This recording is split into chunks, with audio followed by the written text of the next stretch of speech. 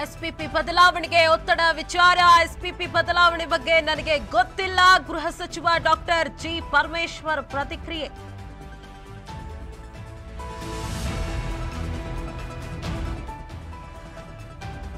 ಅತ್ತ ನಟ ದರ್ಶನ್ ಬಂಧನ, ಇತ್ತ ಸಚಿವರೊಬ್ಬರ ಆಕ್ರಂದನ. ಗೃಹ ಸಚಿವರ ಮುಂದೆಯೇ ಕಣ್ಣೀರಿಟ್ಟು ಗೋಗೆರದ ಸಚಿವ ದರ್ಶನ್ ಸೇಫ್ ಮಾಡಲು ಪ್ರಭಾವಿ ಸಚಿವರ ಹರಸಾಹಸ